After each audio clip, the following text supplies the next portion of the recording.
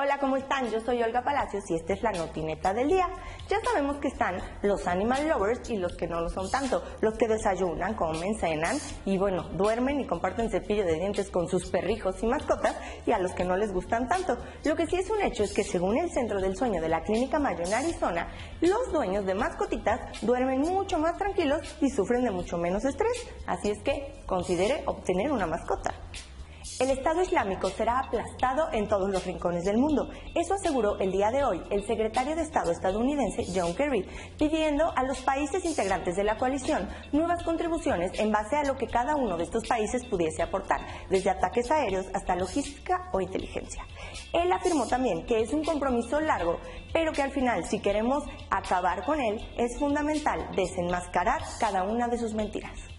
La secretaria de Salud, Mercedes Juan López, aseveró que todas las instituciones del Sistema Nacional de Salud están preparadas para la atención de todos los casos del virus Zika que pudieran presentarse, debido a que ya se han registrado 34 casos confirmados en nuestro país.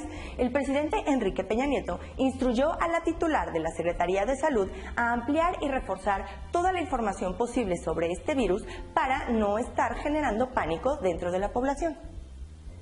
Mientras tanto, en el estado de Veracruz, al que no lo calienta ni el sol de ese hermoso puerto, es al neopanista ya perdedor una vez, Miguel Ángel Yunes, ya que su estrategia tendrá que tomar un nuevo rumbo, debido a que estaba enfocada en atacar al candidato ligado al gobierno actual, pero resulta ser que el candidato priista Héctor Yunes nada tiene que ver con el gobierno actual, así es que tendrán que enfocarse nuevamente en ver qué hacen, porque el que pierde una vez, pierde dos veces.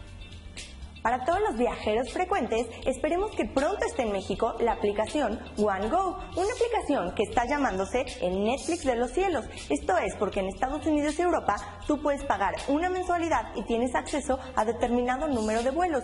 Ellos están apostando a atraer el mercado pues de los ejecutivos, de los viajeros frecuentes, para evitar estos abusos que de repente hay en las tarifas de los vuelos.